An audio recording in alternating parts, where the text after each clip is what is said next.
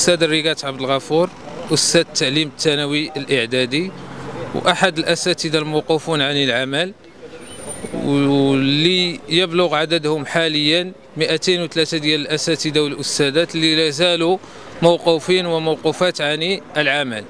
إذا هذه التوقيفات هذه بطبيعة الحال اللي المشرع يعتبر بأنها توقيفات احترازية وعندما نتحدث عن توقيفات احترازية فهي توقيفات مؤقتة. ربما كان هنالك تخوف في الشهر الأول يعني شهر يناير من استمرار الاحتجاج.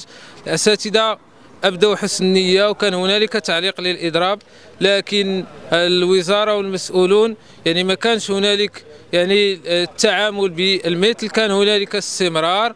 استمرار بطبيعة الحال في التوقيف ديال الأساتذة والأستاذات يعني أزيد من أربعة أشهر.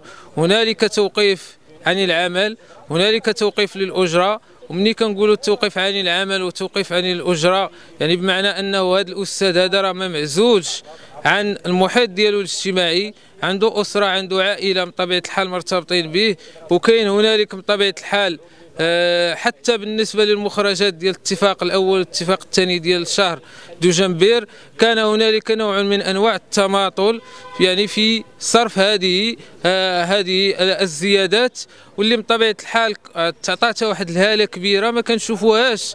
يعني مثلا في القطاعات الأخرى كتكون زيادات يعني وحتى على المستوى الإعلامي ما كيكونش هنالك واحد الهالة إعلامية كبيرة لكن بالنسبة لقطاع التعليم لا نعرف صراحة لماذا هذه الهالة الكبيرة مع العلم أننا باش نصحوا واحد المغالطة اللي كتمرر ان الزيادة اللي كيقولوا بأنها 3000 درهم هي زيادة باثر رجعي هي الزيادة الحقيقية هي 750 درهم.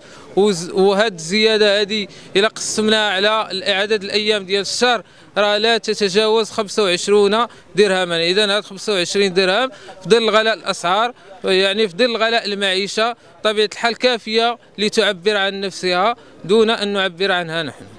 بالنسبة لنا آه، بطبيعة الحال أحيي الأساتذة والأستاذات على مستوى مديرية خيرات تمارا يعني كان هنالك بطبيعة الحال منذ شهر بداية شهر يناير كان هنالك واحد البداية ديال الجمع أو الدعم المادي للأساتذة والأستاذات.